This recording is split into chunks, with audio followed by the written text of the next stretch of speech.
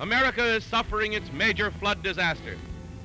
These first and complete pictures, made by Universal cameramen at the risk of their lives, show the devastation of the flood. The catastrophe that struck at Pittsburgh has caused unbelievable damage. $25 million damage here alone, 100 million in Pennsylvania. 35 are dead here, with nothing known of hundreds missing. Disaster followed on the heels of disaster.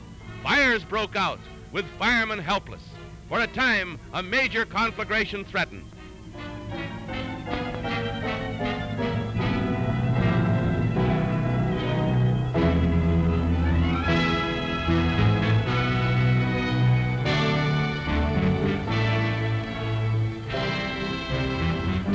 The city is isolated, railroads paralyzed, no food is reaching Pittsburgh.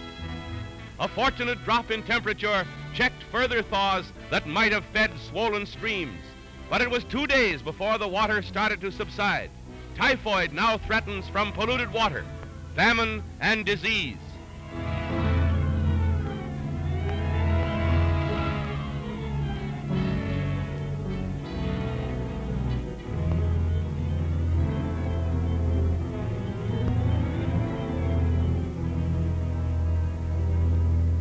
Troops called in to prevent people from returning to their homes. Pittsburgh's a city of desolation.